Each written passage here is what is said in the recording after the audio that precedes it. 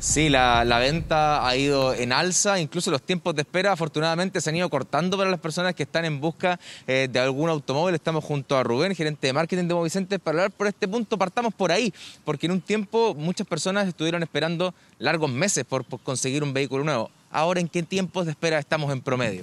Así es, Dani. Eh, a principios de año estábamos con un tiempo de entrega entre 60 y 120 días. Eh, era bastante largo.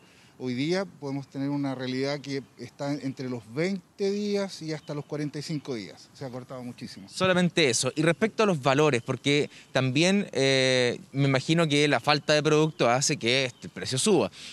¿En, qué, ¿En qué porcentaje se han elevado los precios de automóviles nuevos en particular? En general, los automóviles nuevos han tenido un incremento entre un 10 y un 15% hay factores principalmente que tienen que ver con la demanda, más que con los costos. Em, ese, es más o menos el, nivel de, incremento. Está por ahí. Y respecto a los vehículos usados, que fue alternativa en su momento, eh, también hubo un empuje de la venta de esos vehículos eh, debido a la escasez de vehículos nuevos, ¿no? Sí, hacia fines del año pasado, principio de este año, eh, el alza fue bastante grande en el caso de usados, sobre el 20 y hasta el 25%, por efecto de la demanda. Hoy día, como ya hay mayor cantidad de automóviles disponibles, automóviles nuevos, eh, estos precios se han ido regularizando y, y tendiendo a ser más lo que era antes de la pandemia.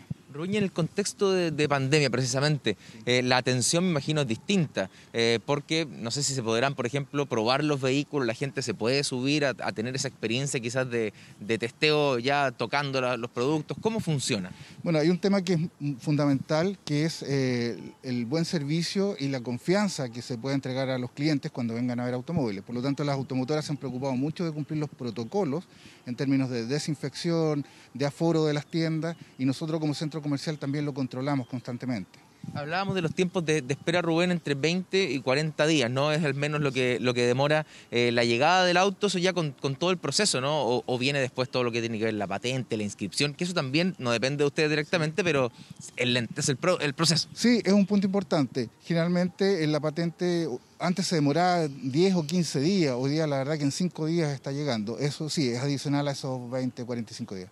Estábamos hablando por lo menos 45 días para darle un margen amplio a la persona que todavía está buscando porque esto ha ido creciendo, retomando niveles pre-pandemia o todavía no. Sí, absolutamente.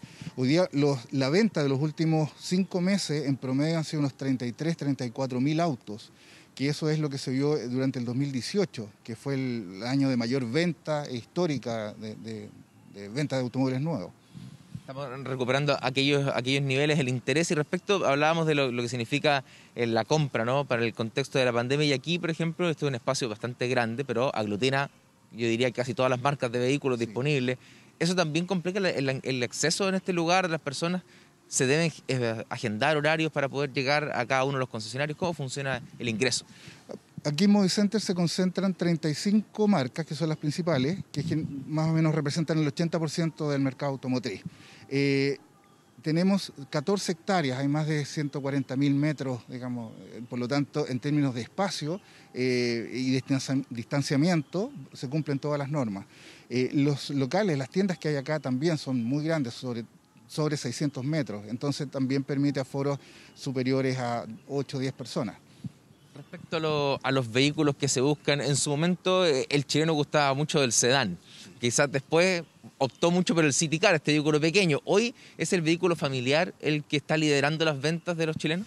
El vehículo familiar o SUV eh, es principalmente el más requerido por, por los públicos chilenos. Eh, pero también en el último tiempo se ha, visto un incremento muy interesante en los vehículos comerciales, los pequeños vehículos de despacho, producto de todo el comercio online, eh, tiendas, internet, emprendimientos, que requieren, una vez que se compran, digamos que es fácil hacerlo a través de internet, pero hay que entregarlo. Y para eso se han eh, requerido estos vehículos comerciales que han tenido un incremento muy importante también. ¿Y el precio del combustible ha tenido un impacto en la, opción de compra de los clientes? ¿La gente se ha cambiado, por ejemplo, al diésel o más que a la gasolina? No, eh, al diésel no, porque hoy día estamos con normas Euro 6 y, yendo hacia la Euro 9 incluso. Eh, y lo que sí ha venido incrementándose el último tiempo es la preferencia por vehículos híbridos.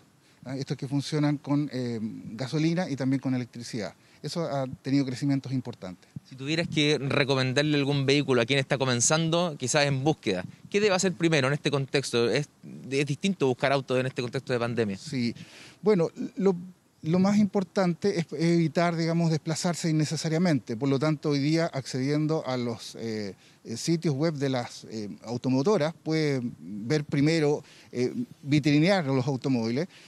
nosotros tenemos en, en www.movicenter.cl todas las marcas que están presentes acá, todos los modelos, y eso ahorra un montón de tiempo. Una vez que se seleccionan dos, tres o cuatro vehículos, puede venir acá, verlos, probarlos, sentirlos, que es muy importante y aquí ver las opciones de financiamiento, eh, tiempos de entrega, etcétera. Rubén, gracias por acompañarnos esta mañana. Datos importantes para quienes están en búsqueda quizás de un vehículo. Los tiempos de espera se han acortado, pero todavía eh, hay que tener paciencia para poder acceder a algún vehículo nuevo. Lo mismo en autos usados, eh, que la demanda ha ido al alza, recuperando incluso los niveles de venta de autos eh, previos a la pandemia. Yo sé, Valentina, que notaste muy detalladamente todos los datos respecto a los vehículos y reitero mi compromiso públicamente de enseñarte a manejar. Anoté todos los datos, pero me doy cuenta que hay que armarse de paciencia, Dani, si tú quieres un automóvil y ahorrar además. Así que yo creo que tenemos tiempo para... Pero 20, 40 días lo que nos demoramos en que yo te enseñe a manejar y luego encontramos un vehículo. me tienes fe, me tienes fe. Y me denunciaste ¿ah? públicamente que no manejo. Ya, muy bien. Vamos a tomar la palabra a Dani Linares. Tenemos tiempo entonces para la conducción y para encargar un auto ahí para ser motorizado. Muchas gracias. que estés bien. Nos vemos. Un abrazo.